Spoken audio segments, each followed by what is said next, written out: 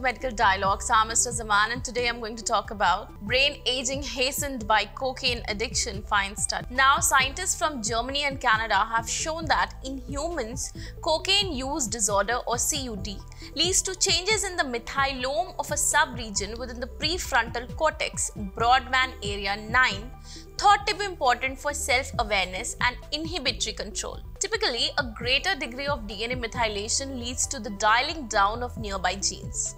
Because the study of the brain methylome is invasive, the study was done on the cryopreserved brains of 42 deceased male donors, of whom half had had CUD while the other half had not. The researchers found evidence that cells in Brodmann area 9 appear biologically older in people with CUD, evidence that these cells age faster than in people without substance use disorders.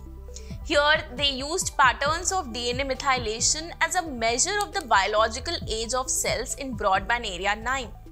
The biological aging of cells, tissues, and organs can be greater or less than their chronological aging depending on diet, lifestyle, and exposure to disease or harmful environmental factors. Scientists can thus estimate the biological age from methylome data with established mathematical algorithms.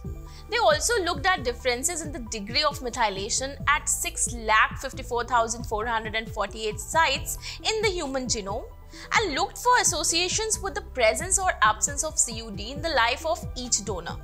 They corrected for differences in the donor's age, the time since death, the brain pH, and further diseases such as depressive disorder and alcohol use disorder. They found 17 genomic regions that were more methylated in donors with CUD than in donors without CUD and three regions that were less methylated in donors with CUD than in donors without CUD. That's all for today. Stay tuned to Medical Dialogues for latest updates. Never miss a medical update from Medical Dialogues. Like, subscribe, and press the bell icon.